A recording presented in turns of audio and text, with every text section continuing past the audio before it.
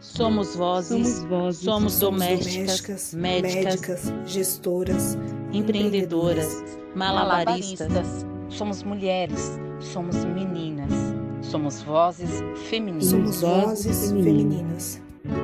Podcast Vozes Femininas.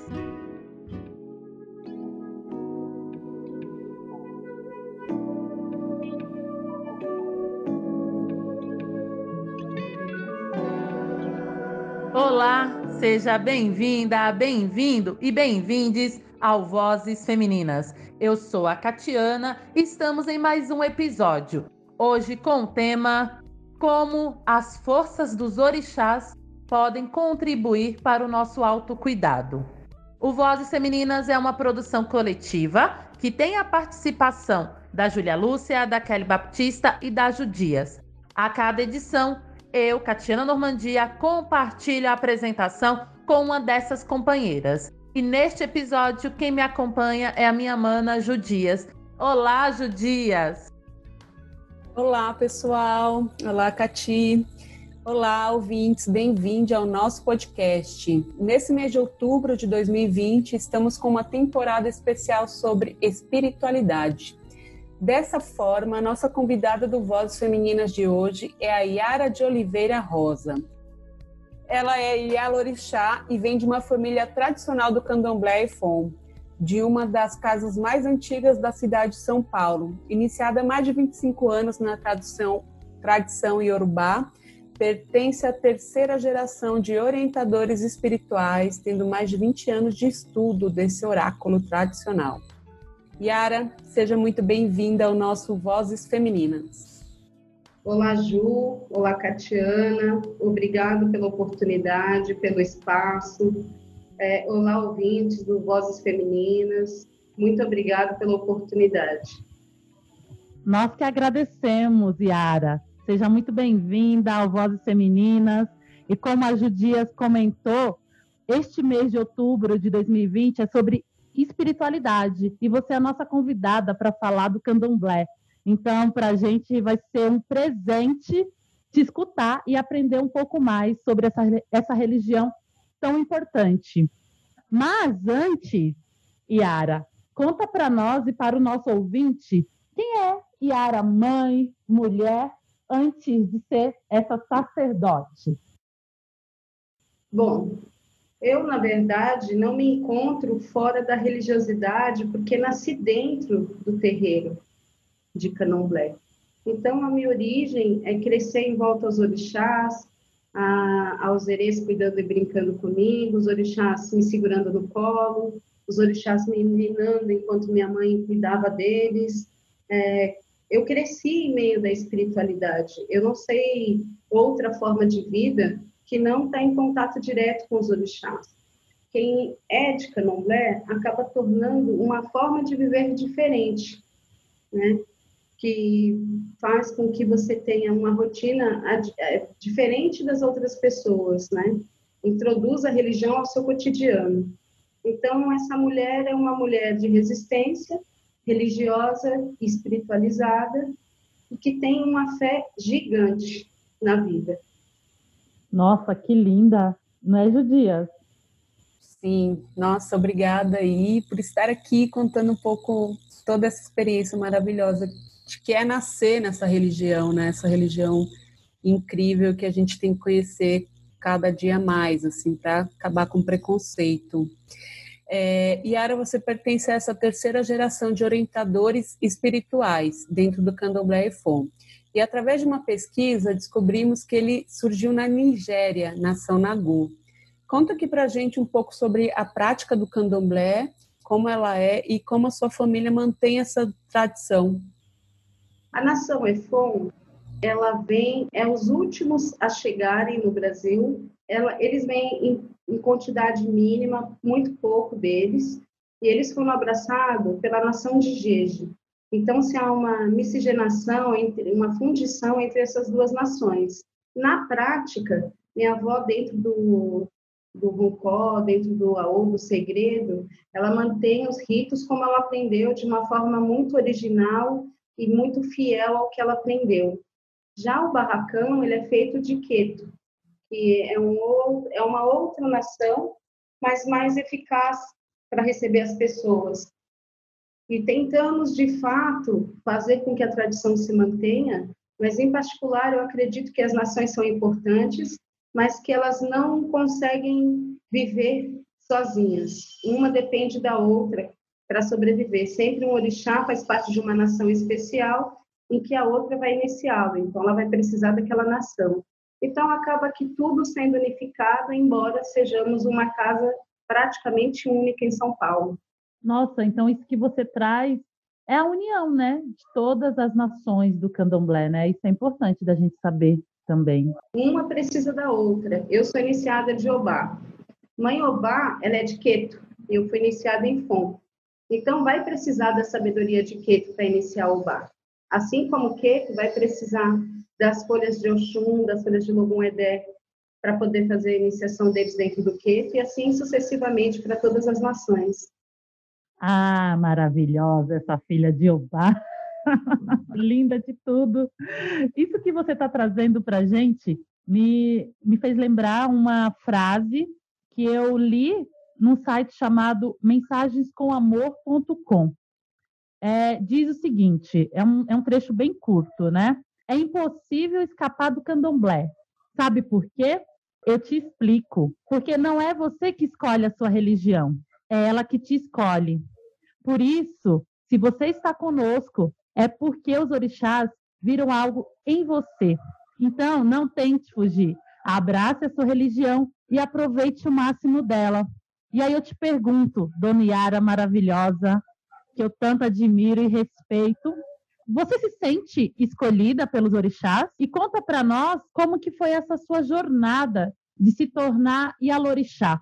Sim, eu me sinto escolhida, mas acredito infinitamente que todos têm orixá, independente de iniciados ou não no candomblé, que isso fique muito claro. Todos são filhos e vai ter uma dinastia diante ao orixá. A minha, a minha origem dentro do candomblé, embora seja de nascimento, minha mãe deixou a livre escolha, tanto minha como dos meus irmãos, a sermos iniciados. Então, aos 15 anos, é, chama-se bolar que é quando o santo determina o seu recolhimento e você simplesmente cai e precisa recolher naquele momento, não tem como fugir. Então, eu não entrei pelo amor, eu entrei pela dor, mas infinitamente me sinto agraciada e presenteada com essa iniciação. É, essa escolha, né, como você falou, todo mundo tem orixá, mas o amor do orixá, quando a gente sente esse amor do orixá, eu não sei, assim, claro, você sabe muito mais do que eu, mas é tão grandioso, né, Yara? Conta um pouco pra gente, assim, como é que é esse amor que move montanhas e que faz a gente realmente sair, quando você fala que você entrou pela dor, e faz a gente sair de qualquer fim do poço, assim, né? É, esse amor do orixá. É isso um pouco do que eu sinto. Eu não sou feita, mas eu sinto esse orixá muito presente na minha vida. Olha, esse recebimento do orixá na nossa vida é algo imensurável, assim, é inexplicável. É como se todo o tempo, por mais adversidade que você passe, você sabe todo o tempo que não está sozinho. É, no meu, eu tenho 43 anos de vida e tive um ano muito, muito, muito complicado, em que eu perdi tudo que eu tinha, inclusive a saúde do meu filho menor. E no mesmo período em que eu perdi tudo, eu havia dado minha obrigação, então, ali eu tive uma escolha de observar isso. Ou olhar aquilo e dizer, poxa, eu fiz tudo que você me pediu e acabei me perdendo e perdendo tudo que tinha. Ou olhar, que é o que eu fiz, olhar para a mãe Obá e agradecer ela infinitamente ao fato dela ter entrado na minha vida para que eu não passasse tudo aquilo sozinha, para que ela tivesse força suficiente para me amparar. E o orixá é isso, ele não, eu não acredito no castigo, eu não acredito no abandono. Eu acredito que ele perca força porque você não o cultua. Mas em nenhum momento um, um, uma deidade, um orixá ruim, ou que castigue ou que machuque. Orixá é amor, orixá é vida. É. Clara, é, puxando um pouco o gancho aqui sobre os orixás, é, para quem não conhece, né, eu não sei se você conseguiria fazer de forma bem resumida mas é, resumir assim o, o que são os orixás, né? O, a questão da força das naturezas, cada um. Você conseguiria trazer isso para a gente, para quem não sabe, né, não conhece a religião? Sim.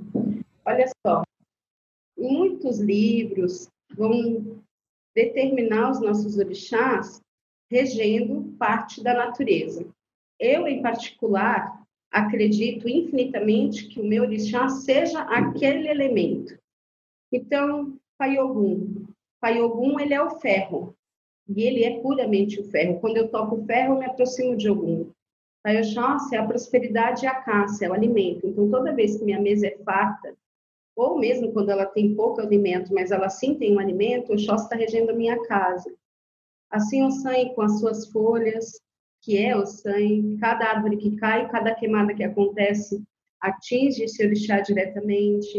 O Molu, ele rege todas as doenças, mas não significa que ele traga as pestes, ele é o que é o controlador dessas doenças. Então, dentro dos hospitais, o Molu vai habitar, né? Assim como Xangô com a justiça, assim como Yansan nos seus ventres na sua limitação entre deixar os vivos e os mortos separados, assim como Mãe Obai, a pororoca, a dona da, do bélico, da guerra, Oxum é a dona da vida, do útero, da multiplicidade, né?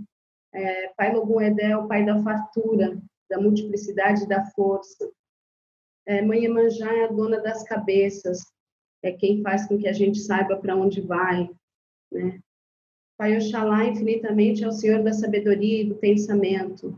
E eu acredito infinitamente que, independe do orixá que você nasça ou seja iniciado, nós precisamos de todos. Eles junto é o que faz a vida e o mundo dar continuidade à existência. Então, a todo momento você está conectado ou movimentando essa energia, mesmo que você não perceba. Assim, quando você está andando, às vezes, e você está angustiado, pensando nos seus problemas, de repente bate uma brisa leve no rosto, que te dá um alívio. Ali as pessoas falam: Olha, Deus, obrigado. Eu digo: Obrigado, Mãe Sã, eu sei que eu não estou só assim a chuva, assim é toda a natureza para mim. Todo o tempo eu estou conectada com eles e eles comigo. Nossa, que coisa linda.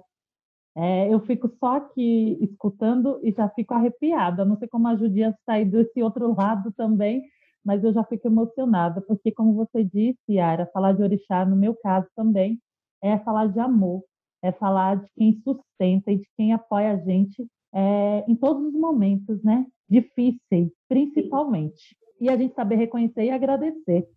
E respirar fundo, né? Eu fico muito emocionada também. E, e, assim, enquanto mulher, né? Eu queria que você contasse um pouco para a gente, para o nosso ouvinte. Já teve muitas barreiras dentro do candomblé? Você já passou? Olha, dentro do candomblé, o candomblé se origina no nosso país porque o candomblé é brasileiro, é uma religião criada aqui. Quem inicia essa religiosidade é as mulheres. Elas iniciam o culto formando quilombos onde abraça as pessoas excluídas da sociedade após a abolição. Então, ela vem do matriarcado, tão pouco difundido já na, na pátria mãe, que seria a África, que lá é um patriarcado. Aqui vira um matriarcado. E dentro do candomblé, há uma classificação de afazeres muito distinta entre homens e mulheres e muito respeitosa nesse lugar. Então, não tem quem é maior ou menor por conta do sexo.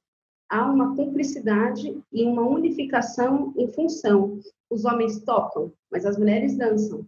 Os homens cantam e as mulheres incorporam. As mulheres podem cantar? Pode, mas é sempre um rito de toque masculino para encantamento, né? Então, há, uma divisão muito boa e muito inteligente na, na distribuição dos afazeres dentro, o que faz com que a gente não se sinta menosprezada por ser mulher. Embora isso é uma questão do mundo, mas dentro do candomblé isso não é real. Eu só sofri preconceito por ser de candomblé, não por ser mulher. Sim, como você falou, vem dessa família tradicional, então, ou seja, sua vida toda é dentro do candomblé. Imagino que nas escolas, né, por onde você passou, tenha, tenha sofrido realmente bastante tolerância religiosa, né? Sim, é, desde sempre. Minha família deixou sair de, assim, para brincar na rua tardiamente. Eu acredito que por medo da retaliação dos vizinhos, porque o terreiro da minha avó é uma das primeiras construções da vila onde eu moro, que é o Tucuruvi. Então, todo mundo que veio para cá sabia que o centro existia, a casa de candomblé. Então, eu ia chamar meus amigos, os pais diziam, não quero você brincando com a macumbeira, não senta onde é macumbeira, não pise na calçada da casa da macumba, né? E isso vai se estendendo e cada vez ficando um pouco mais agressivo conforme a adolescência, tanto que em grande parte os meus melhores amigos foram homens, porque os homens têm uma tendência a não obedecer mesmo. Então, eles que foram mais brincados comigo.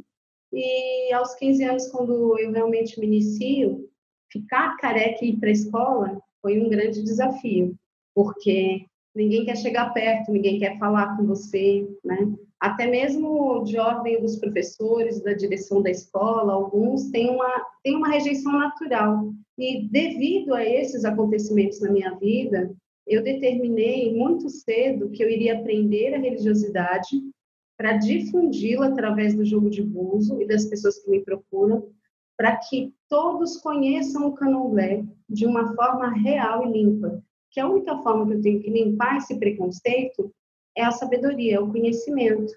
Então, eu não nego nenhuma informação a ninguém que me procure e tento sempre onde estou difundir a minha religiosidade para que assim as pessoas entendam. Não precisam ser de candomblé, mas basta conhecer e assim respeitar. É isso, maravilhosa. Respeitar. E só com conhecimento a gente pode acabar com essa intolerância religiosa e todos os preconceitos que existem nessa sociedade. E haja sabedoria, paciência, né, amiga? É, é um passinho a cada dia. Exatamente, Ju. Yara, é, você trouxe, né, que você foi para a religião, não foi, na verdade, voltou, né, pela dor, assim, mas que aceitou realmente estar tá ali, fincar seu pé. Para mim também foi assim, né, eu sou da Umbanda, eu voltei e, enfim, entrei na religião, na verdade, conheci através da dor e foi muito profunda. E ali eu descobri o quanto eu precisava me conhecer, me cuidar, me olhar, é, olhar para as minhas dores, as minhas feridas e até onde eu poderia ir. Então eu te pergunto assim, né? A gente diz que é, esse episódio fala sobre como a, como a força dos orixás podem contribuir para o nosso autocuidado. Muitas vezes a fé é essencial para recuperar essa autoestima, para cuidar da gente e nos ensinar a ter cuidado, né? É, com nós e com os outros. Então eu te pergunto, hoje com a pandemia, como que tá? As pessoas têm te procurado mais para com essa demanda de autocuidado, as pessoas vão procurar para jogar búzio, elas trazem essa necessidade. E também queria pedir para você é, dar algumas dicas, conselhos para nós aqui ouvintes sobre autocuidado e amor próprio, como manter e como cultivar isso no dia a dia. Olha, esse autocuidado e essa visão amorosa sobre nós mesmos é, é algo que eu já trago para a minha mesa de jogo, independente da pandemia, porque isso já é uma carência da humanidade. Né? Ela está sempre preocupada com o que ela tem por fazer e, e o que ela precisa. E a minha missão é fazer com que a pessoa entenda que antes de ela amar alguém, ela tem que se amar. Antes de ela namorar alguém, ela tem que se namorar. Antes dela respeitar o próximo, ela tem que se respeitar. E acreditar infinitamente que ela é a única que pode se derrotar. Mas ninguém pode fazer isso. Portanto, quando eu falo e aconselho as pessoas a um banho de folha, a uma vela, a colocar é, simbologias religiosas como altar, eu estou fazendo com que ela inconscientemente se trate, se cuide. Mesmo que para ela, naquele momento, seja uma questão religiosa, a inconsciência entende que ela está se priorizando naquele momento. Então, eu já trago essa prática. E sim, houve uma demanda de aumento grande, porque as pessoas estão com medo.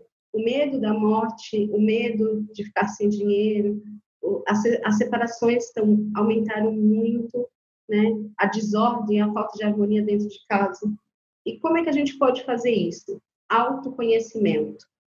Primeiro, entender e respeitar o próximo. É a primeira lição dessa pandemia que as pessoas precisam atender com emergência. Depois disso, o cuidado, o olhar para o próximo, porque se convivia, mas não se não se aproveitava um ao outro, só se entrava e saía. Hoje as pessoas têm que partir uma da outra, se tolerar, se conhecer, se respeitar. Então, embora a gente esteja falando de uma pandemia, que é algo infinitamente triste pelas perdas que a gente tem, eu acredito que sempre do pior a gente vai tirar o melhor. E qual o melhor disso? O respeito pelo próximo, se encontrar na sua fé, entender que o amor é a única solução do mundo. O amor e a educação é a única saída para tudo. E isso faz com que a gente eleve esse, esse plano em que a gente está vivendo nesse momento. Então, dessa pandemia, eu tenho uma infinita esperança de que vai ser o melhor. Bonito. É, essa sua fala me lembrou muito. Eu assisti uma palestra, um bate-papo com o Krenak, e ele tem, tem uma frase que ele disse que é assim: a revolução será através do afeto. E você falando assim, é, veio isso direto assim para mim. Obrigada. Axé, é isso. Axé, axé, irmã. Nossa, Ju, que trecho bonito esse, né? É isso. A revolução será através do afeto, da fé, né? E você, Dona Yara, a gente está falando tanto de autocuidado, né? Como é que essa filha de mãe Obá se cuida? Cuida da saúde física, cuida da saúde mental, como é que você está se cuidando, principalmente agora na pandemia? Olha, eu já tinha algumas atividades antes da pandemia, que são as medicinas da floresta. Ayahuasca, rapé, tambor, cananga, né? A gente tem um espaço em que a gente faz esses, esses rituais xamânicos com muito estudo, tem anos de estudo e dedicação respeito por essa tradição por nossa raiz, que são os índios, e passei muitos anos tomando remédio, praticando esporte, mas a grande solução eu vi em coisas muito simples, em função de ervas, que é a ayahuasca, né? o sangue do cipó, que é a sananga, o rapé, que é o pó das árvores, né? o cambô, que é um estimulador de, de imunidade, né? que é um sapo que traz. São coisas simples e muito sábias que os índios sabem desde que eles são índios, desde que eles nasceram. E essa sabedoria, essa cura, é assim que eu me trato, usando essas medicinas e tendo os meus ritos espirituais desde que eu me conheço por gente, de acender minhas velas, parar um tempo do dia para meditar, me ligar com a espiritualidade, entender quais são os sinais que eles estão me trazendo. Mas essas rotinas eu já tinha antes da pandemia. Mulher, essa coisa do silêncio, né? É, eu acho que essa pandemia trouxe muito isso, dessa inquietação, do quanto é difícil a gente ficar sozinha com nós mesmas, né? Então, essa dificuldade de silenciar, eu falo isso por mim também, assim, eu tenho uma dificuldade enorme para meditar, dificuldade enorme para ficar no silêncio, para ler ali, ficar ali entregue, essa concentração. Isso é um exercício meio diário, né? Sim. O espaço que eu faço parte é um espaço universalista, embora meu berço e minha tradição mais forte é o candomblé. É um espaço em que a gente recebe líderes de todas as religiões para palestrar, para trazer o que eles conhecem da religiosidade, para acrescentar os filhos da casa. E nós recebemos um lama. E eu tinha também essa dificuldade de, de meditar. E ele me ensinou que meditação é medir a sua ação. Então, você pega um assunto para ti que seja importante, para e analise e pense a respeito daquilo. E pode meditar e pensar em nada, desligamento? Pode. Mas quando você voltar, os problemas vão estar no mesmo lugar. Eles não vão ter saído de lá. Então, medir a sua ação é fundamental, que é o que eu pratico todos os dias. Eu sempre pego um assunto, paro, faço meu reiki e medito sobre aquela ação que eu preciso rever. E isso faz toda a diferença no cotidiano. É, meditação é um exercício. Eu confesso também que eu tenho muita dificuldade de parar e meditar. Mas eu tenho percebido também, Ara, que durante essa pandemia, eu acredito que a minha fé aumentou mais, sabe? Eu sempre também, né, acendi minhas velas, fiz as minhas orações. Porém, durante a pandemia, eu estou sentindo que a minha espiritualidade, ela está mais aflorada, né? Eu imagino que outras pessoas também tenham percebido isso. Então, eu eu estou vendo, por exemplo, que eu não, eu tô nem é mais calma, porém, tô mais, é, a minha fé aumentou, né? A minha fé aumentou, é, e eu tenho agora todos os dias realmente parado e agradecido. Só o fato de agradecer a todos os guias espirituais, né, que estão aqui rondando a gente, né? Sim, e assim, Kate, é, na verdade, as pessoas que já têm algum cuidado espiritual nessa pandemia teve uma abertura maior da sua mediunidade, por proteção mesmo, para que a gente esteja um passo à frente. Então, a mediunidade se expande através da sua opinião e, e, o contato, cada um com a sua egrégora dentro da sua religiosidade e da sua fé, indiferente de religião, ela fica um pouco mais aflorada, a sua intuição fica mais aguçada, para que a gente consiga manter a luz nesse tempo, infelizmente, de dor. Verdade, só a fé para dar um caminho né, de esperança, de luz, e que tudo vai ficar bem, e que tudo vai melhorar. Exato. Ah, Yara, quantos aprendizados hoje. Eu ficaria aqui três horas te escutando, a tarde toda te escutando, é, esse acolhimento, esse afeto tão lindo, tão maravilhoso, tão generoso. Mas não tem como, né, Yara? Não tem como neste momento. Mas aí eu te peço, tem como você deixar uma mensagem para o nosso ouvinte né? E também para quem deseja conhecer um pouco mais o candomblé, deixar uma mensagem carinhosa, enfim. Um abraço virtual? Axé. Eu gostaria de deixar para todos que estão ouvindo, primeiro agradecer né, a, atenção e que eles chegaram até agora ouvindo, e deixar para eles a mensagem de amor e fé que é o que é o futuro da nossa nação. É para isso que a gente passa tanta diversidade, para que a gente encontre em si primeiro a humanidade, para partilhar essa humanidade para com o próximo.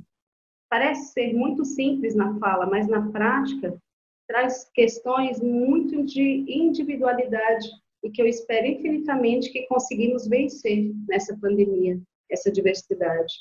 Que quando quiserem encontrar os orixás, toma um banho de lagoa, vá a uma cachoeira para encontrar Xangô, vá à lagoa para ver Oxum, vá para o mar encontrar Emanjá, vai para as matas para encontrar o Sangue, Pai Oxóssi, Pai Logum Edé, sinta aquela névoa da manhã e agradeça Oxalá, né? Sinta-se dentro e inteiramente integrado aos orixás com o contato da natureza. Eles são parte nossa e nós somos parte deles independente de iniciados ou não. Gratidão. Muito obrigada, Axé, Axé, que Mãe Obá lhe abençoe, lhe dê caminho sempre.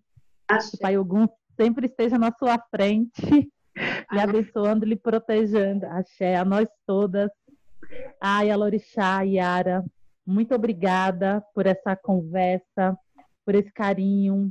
Eu amo você, eu te respeito tanto, né? A nossa ouvinte, a nossa ouvinte não, desculpa, a nossa voz feminina, que foi a primeira do episódio, Elisandra Souza, que me apresentou a você. Ou seja, caminho, né? Esse caminho, essa ponte que tão humana, gente, é tão importante. Eu acho que na pandemia também as pessoas elas estão aprendendo, entendendo o quanto que essa ponte, o quanto que as conexões, né, a rede é, e essa rede saudável é importante. Então, todas as nossas conexões aqui, né, no Vozes Femininas, têm sido lindas. Então, Elisandra Souza, muito obrigada por você fazer essa ponte com a gente aqui, com a Elorixá e Yara, que agora é nossa amiga, sempre foi, né, gente? então, muito obrigada. Estou morrendo de saudades. Logo menos espero estar aí para te dar um abraço. Amamos, assim, eu amei espero que o nosso ouvinte também tenha gostado de te conhecer, né? Essa mulher maravilhosa que faz a diferença na vida das pessoas, aprender também mais sobre o candomblé, essa religião de pura resistência que eu tanto amo, que eu tanto respeito. Então, muito obrigada. Obrigada por compartilhar sua narrativa conosco. Foi lindo, né, Judias? Foi maravilhoso. Yara, gratidão. É, foi um prazer te conhecer, né? Nós não nos conhecíamos, mas me senti super bem. Já sinto aqui a sua energia no áudio, né? Imagine pessoalmente. É, obrigada por compartilhar com a gente. É, foi pouco tempo, mas né, a gente já, eu acho que apresentar a religião para o outro, né? Então, obrigada por esse tempo.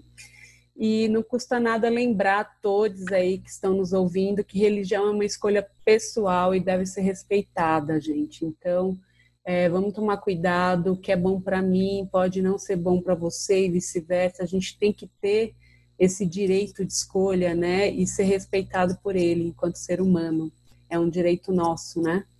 E é isso, Yara. Agora é com você.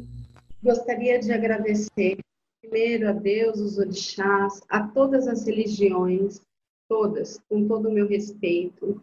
Deixar também para os ouvintes, para que eles tentem, em algum momento do seu dia, emanar luz, né? Seja cada qual dentro da sua verdade, dentro da sua espiritualidade, mas que tire um tempinho do seu dia para emanar luz, não só para a pandemia, mas para os índios que estão sofrendo genocídio, as queimadas que estão acontecendo no nosso país são coisas que não voltam mais, é morte. Então, que a gente tenhamos unidade nesses pedidos de socorro a Deus, ao Lorum, seja qual o nome que se classifique o seu Deus. Quero agradecer muito a Tatiana, quero agradecer você, Ju, a toda a equipe do Vozes Femininas e a todas as pessoas que passaram pela minha mesa de jogo, porque eu só atendo por indicação. Então, é uma rede de amor que eu crio no meu atendimento. Então, desde a Elisandra, a Tatiana, cada um que vem indica outro e a gente cria uma rede de amizade e amor infinita. Então, agradecer a todos que aqui passaram e agradecer vocês pela oportunidade. Gratidão de coração. Axé, axé. Ai, gente, uma mesa de amor, uma rede de amor, coisa linda, é disso que a gente precisa. Muito obrigada mais uma vez. O Vozes Femininas é nosso. Sinta-se em casa toda vez que precisar, só chamar a gente, a casa é sua, né? Tá todo mundo aqui para te escutar. Muito bem-vinda sempre. Axé. Muito obrigada. Esperamos que você, nosso ouvinte, também tenha gostado dessa voz feminina maravilhosa, que foi a nossa convidada de hoje, Iara, ou Ialorixá Iara e te convidamos a assinar o nosso podcast, a compartilhar com as amigas, com os amigos e os amigos. Lembrando que toda segunda-feira há um episódio novinho de uma voz feminina, sempre narrando e compartilhando seus projetos, os seus sonhos e a sua vida. Judias, muito obrigada pela parceria de hoje. Até o próximo Vozes Femininas. Obrigada, Cati. Mais uma vez, obrigada, Yara, por toda a luz aqui pra gente. Tem um recadinho aqui importante, por conta do isolamento social, este episódio do Voz está sendo gravado, cada um na sua casinha. Então, se você identificou algum barulhinho, alguma coisa assim, desconsidere, pedimos desculpa desde já, mas temos que nos cuidar também. O Vozes Femininas tem a apresentação e roteiro de Catiana Normandia, Kelly Batista e Júlia Lúcia de Oliveira. Hoje eu estou aqui numa participação especial. Identidade e produção visual de Judias, essa sei que vos fala, da agência Bora Lá Comunicação. Produção de conteúdo das mídias sociais de Catiana e Kelly Batista edição e mixagem do som, do áudio, para levar isso para vocês com a fera Júlia Lúcia de Oliveira. Até o próximo Vozes e obrigada a todos que estão aí do outro lado ouvindo a gente.